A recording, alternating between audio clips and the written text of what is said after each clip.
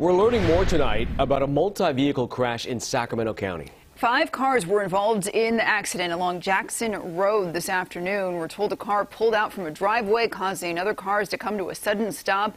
One of the cars was hauling a trailer and it swerved onto the opposite lane and sideswiped another vehicle.